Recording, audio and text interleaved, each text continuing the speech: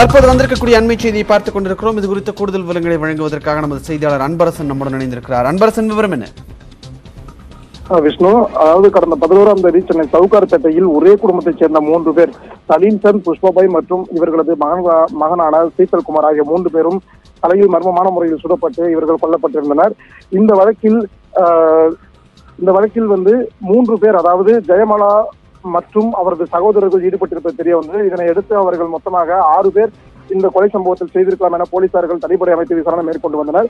இந்த நிலையில் ஜெயமாலாவின் அண்ணனான கைலாஷ் அவரது நண்பரான ரவீந்தர் ரவீந்தர் நாத்கர் மற்றும் விஜய் உத்தம் ஆகிய மூன்று பேர்கள் புனே அடுத்துள்ள சோலாப்பூர் என்னும் இடத்தில் வைத்து போலீசாரால் கைது செய்யப்பட்டு இங்கு சிறையில் அடைத்தனர். இந்த வழக்கில் அவர்களிடம் விசாரணை செய்வதற்காக போலீஸ் கஸ்டடி எடுப்பதற்காக நேற்று இந்த வழக்கு விசாரணைக்கு வந்தது.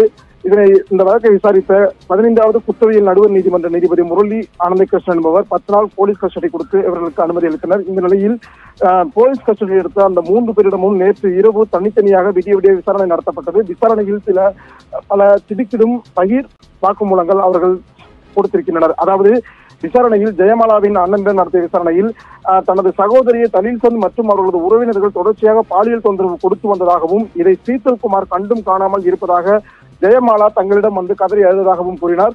இதற்காகவே நாங்கள் அவர்களை கொலை செய்ய திட்டமிட்டுள்ளதாகவும் அவர்கள் போலீஸ் தரப்பில் பகி வாக்குமூலம் அளித்துள்ளனர். அது மட்டுமல்லாமல் கொலை செய்யப்பட்ட பயன்படுத்தப்பட்ட துப்பாக்கிகளில் இரண்டு துப்பாக்கிகள் பயன்படுத்தப்பட்டதாகவும் அதில் ஒன்று தான் வைத்திருந்த நாட்டு துப்பாக்கி எனவும் மற்றொன்று தனது தம்பி கை விலாஸ் வைத்திருந்தது.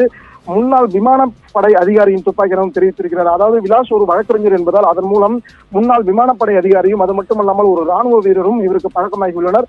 அந்த விமானப்படை அதிகாரியின் உரிமை பெற்ற துப்பாக்கியை தான் சில காலம் பயன்படுத்தி விட்டு தருவதாக கூறி விலாஸ் இந்த கொலை சம்பவத்திற்கு ஈடுபட்டிருப்பது தெரிய வந்திருக்கிறது. அதே போல விலாசுக்கு பழக்கமான மற்றொரு ஓய்வு பெற்ற ராணுவ வீரரின் காரை சில காலம் பயன்படுத்தி விட்டு தருவதாக கூறி அந்த காரையும் இந்த கொலை சம்பவத்திற்கு விலாஸ் பயன்படுத்தியுள்ளார் என்பது போலீஸ் விசாரணையில் தெரிய வந்திருக்கிறது.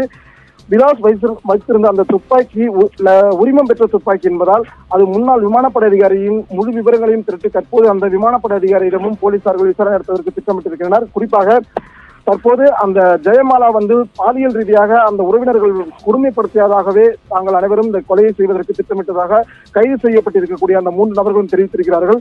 அது மட்டுமல்லாமல் இந்த விசாரணையில் முக்கிய குற்றவாளிகளான ஜெயமாலா மற்றும் அவரது தம்பி விலாஸ் அவரது நண்பர் ராஜீவ் ஷிண்டே இந்த மூன்று பேரும் தலைமறைவாக இருந்து வருகிறார்கள். இவர்களை தனிப்படை போலீசார்கள் தீவிரமாக தேடி வருகின்றனர். இந்த மூன்று பேரும் கிடைக்கும் பட்சத்தில் அவர்கள் என்ன வாக்குமூலம் தருகிறார்கள் என்பதை பொறுத்து இந்த இந்த வழக்கானது வேறு கோணத்திற்கு பரிமாணமாகும் விஷ்ணு. நன்றி அன்பரசன் உங்களுடைய தகவல்களுக்கு.